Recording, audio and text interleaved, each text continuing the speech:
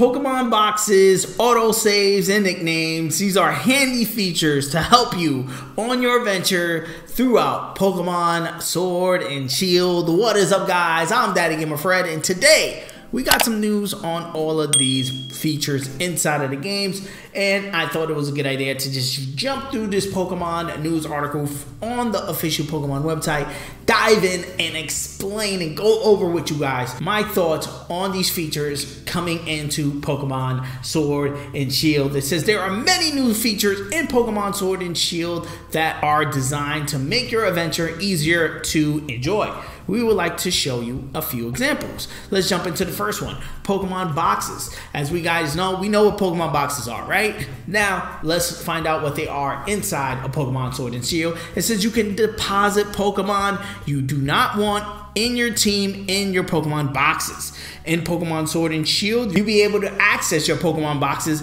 in various towns and facilities. But also, while you're on the road or even while you're exploring tall grass, you're able to swap Pokemon into and out of your team whenever you want.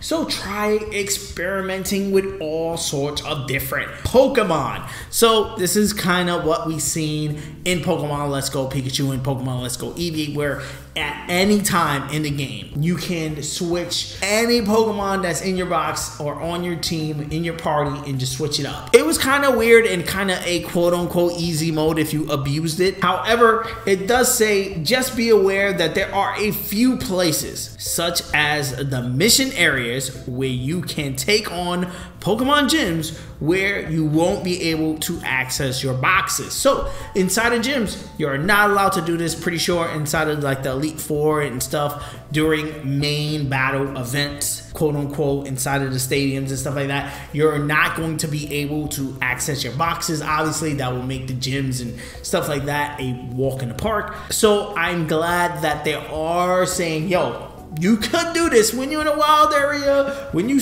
you know just grinding and you, you want to switch out your Pokemon. You don't have to make it all the way back to a Pokemon Center. You could switch out. I like that idea, but I also like the idea of saying, yo, with gyms, we're gonna treat them like gyms. You you better come in with the Pokemon you want. If you have Pokemon in your boxes that you want, you can't switch them out. I like that idea. I like that. I like that. It's balanced. You know what I'm saying? It's show. It's giving the people who want easy mode on easy. You know, abusing the system. Yeah, you could do it but then when you enter gyms, you gotta treat it like a gym, like the classic games. I like that. I like the, I like the options. Give everybody options. We got some screenshots here showing boxes on how they work. Every, if you play the Pokemon game ever, you know how boxes work. You grab a Pokemon, you throw them in the, in your party. You take a Pokemon from your party, you throw them in the box. You don't need, you know, it's not rocket science. It's science. Moving on to the next feature, autosave. Saving diligently has always been a part of a Pokemon adventure, but now there's an auto auto save functionality to help you out. The auto save functionality will automatically save your progress during your adventure at various points, such as when you enter a town or a building. This functionality is automatically turned on when you begin your adventure, but you'll be able to turn it off if you want to have more control over when your progress is saved. Again, the functionality is turned on when you begin your adventure. If you want to turn it off, go in the option menu and turn the bitch off. You know what I'm saying? You don't you don't have to play with autosaves on if it's an issue for you. However, just do know when you turn on the game, it's gonna be on just go in the options and turn it off, all right? Because I know I'm gonna play with it off. I'm just, I'm an OG. I gotta press start and save three times before I do anything. That's that's just how I play Pokemon. It's gonna be weird for me to to know in my brain that it's auto saving and trust in auto save, especially when it comes to you know soft resetting and stuff like that, which I'm gonna get into in a different video. But I probably do it off. It says even with auto save on, you still be able to save manually too, just as you can with auto save off. Go into the options menu and choose how you like to save. So you can set up the experience that suits your style. A message will appear in the upper right hand corner of the screen when your progress is being automatically saved. It's kind of weird talking about autosave as a quote unquote feature in a 2019 game release. However, this is the first time we're seeing auto saves inside of a Pokemon game, so that's why it's kind of important to actually discuss it and go over it.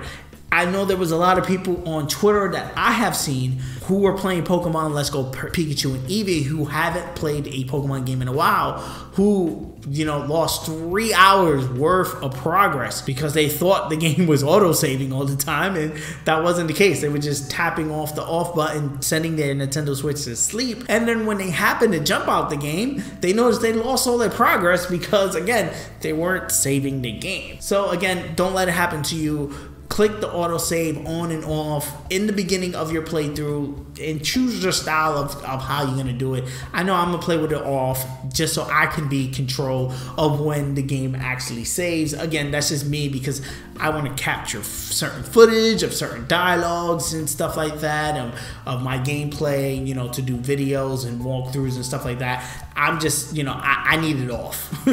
Nicknames. If a Pokemon you receive in a trade doesn't have a nickname, you now have a chance to give it a nickname. But only once. That is pretty cool. I wasn't expecting to to that was gonna be a feature. That's cool. So if you wonder trade or surprise trade a Pokemon and you get a Wooloo and you want to name your Wooloo Boo Boo, you can do that. You don't have to be stuck with a name because of the fact that it came from a trade. That is pretty cool. So speak to the man standing behind the left hand corner of any Galar region Pokemon Center. This jack of all trades is sure to help you out. So again, in the corner of any Galar Pokemon Center, the left hand corner, there's a man standing there. He's gonna help you out with your nicknames. It says note that just in previous titles, you won't be able to change the name of a traded Pokemon that already has a nickname.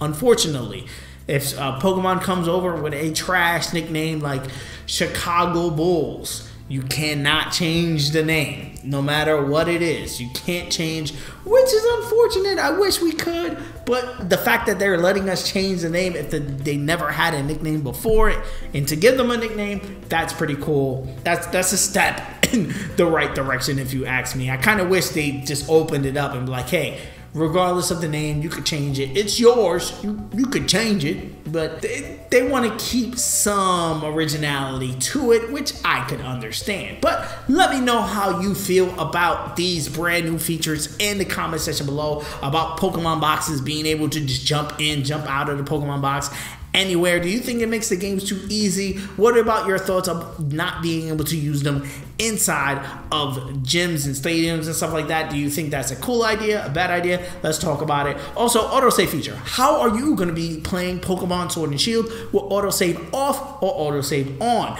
And the nicknames. Are you a type to give your Pokemon nicknames? I definitely am. I usually do it on my first playthrough, give every Pokemon a nickname because I'm just crazy like that. And then my second playthrough, I do not. But nicknames is definitely important for me because every playthrough, again, of a first new generation, I always did that. I always gave my Pokemon nicknames.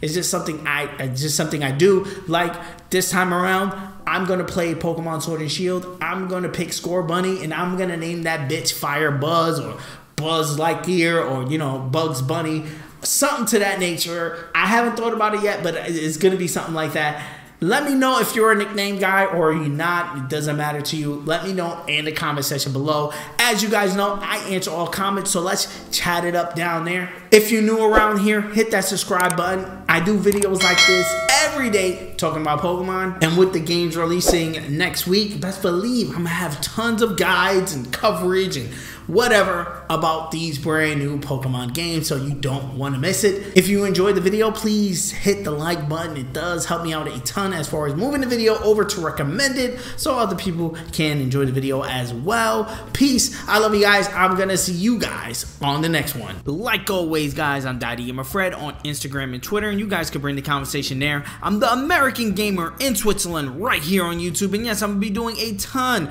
of videos just like this one. So if you enjoy, please hit that subscribe button. Also, hit the like button. It does help me out a ton as far as growing the channel is concerned. Ring the bell if you want to be notified on the next time I drop a video. Peace. I'm going to see you guys on the next one.